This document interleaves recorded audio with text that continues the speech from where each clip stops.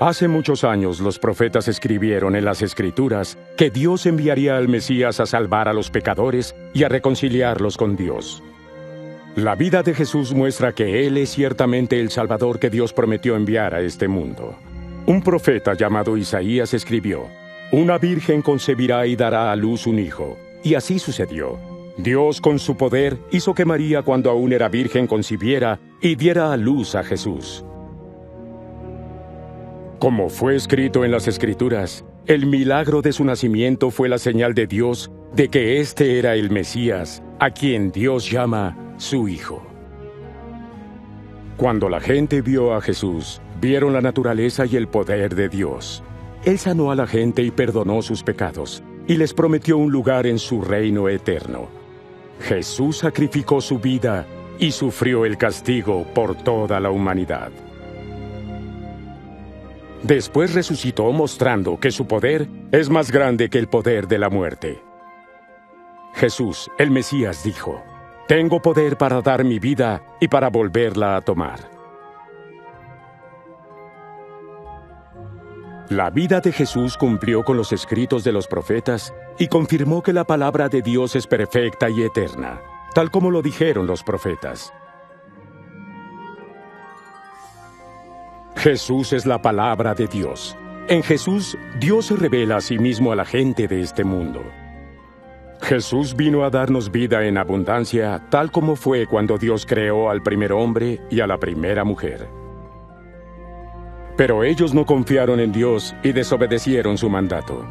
Este acto vergonzoso los separó de Dios.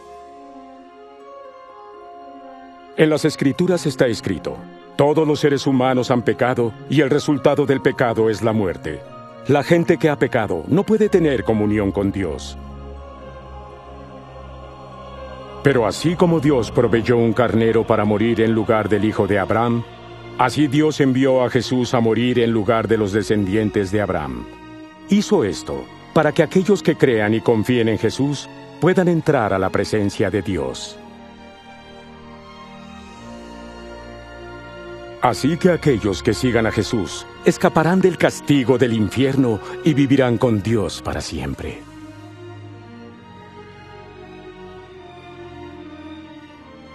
Cuando Jesús resucitó de entre los muertos, le dijo a sus seguidores, La gente declarará en mi nombre a todas las naciones que Dios perdona los pecados de aquellos que se arrepienten y vuelven a Dios.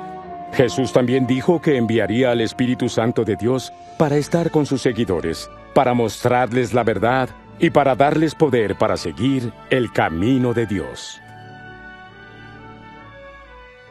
Cuando la mujer pecadora se arrepintió y comenzó a seguir a Jesús, Él le dijo, Tus pecados te son perdonados, tu fe en mí te ha salvado. Jesús dijo que cuando la gente realmente ama a Dios, esto es evidencia de que Dios ha perdonado sus pecados.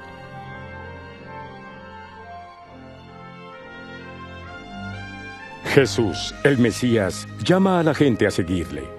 Aquellos que decidan ser seguidores de Jesús pueden comenzar a tener comunión con Él diciendo palabras como estas. Dios, tú eres justo. Gracias por amarme.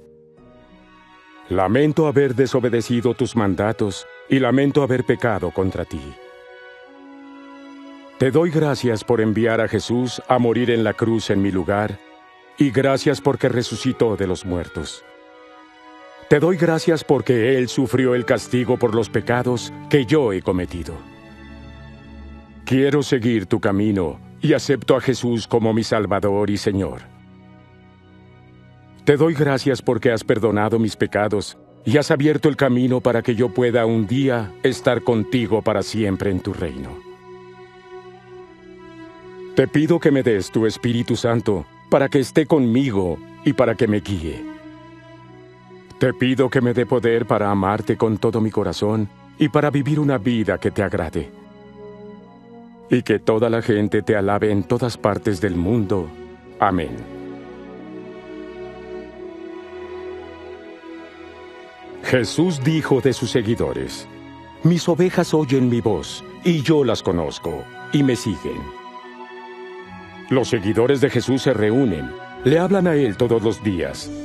Estudian sus palabras en las Escrituras, buscan seguir su ejemplo y les hablan a otros de Él. Jesús los guía y los fortalece a través del poder del Espíritu Santo de Dios, quien vive en su corazón.